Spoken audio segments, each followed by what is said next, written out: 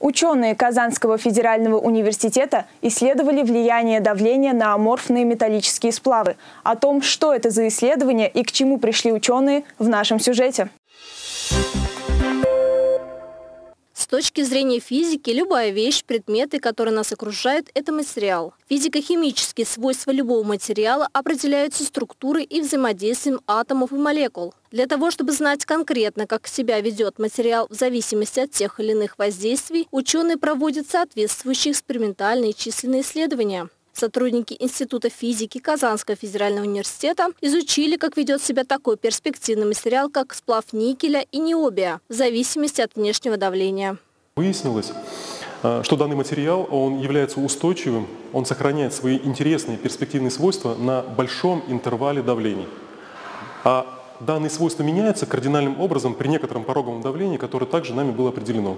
Уникально в данном исследовании то, что большая часть результатов была получена именно на компьютере. Это был не реальный, а компьютерный симуляционный эксперимент. Ученые проводили моделирование, запускался определенный алгоритм, выполнялись определенные расчеты. Рассматривалась реакция этого сплава на самые разные давления, начиная от малых до сверхвысоких. Оказалось, что на большом интервале давлений материал реагирует практически одинаковым образом. Но начиная с некоторого порогового значения, физические свойства данного материала меняются меняется кардинальным образом. Почему же выбор ученых остановился именно на сплаве никеля и необия? Дело в том, что а, не все а, аморфные металлические стекла хорошо удерживают аморфное состояние.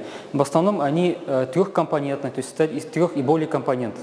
Там может быть никель, необий, медь, может быть алюминий, другие компоненты. А вот сплав никель-небия – это такой вот уникальный сплав, состоящий из двух компонент, который хорошо удерживает именно вот аморфное состояние.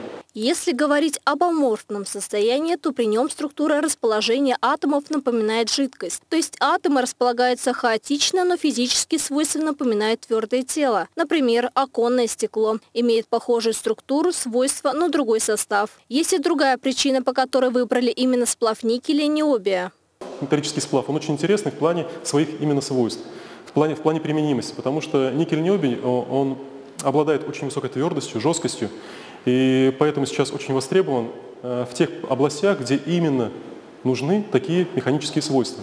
Результаты исследования представлены в статье, опубликованной в журнале Journal of Non-Crystalline Solid. Елизавета Никитина, Фариза Хитаглы, Univer News.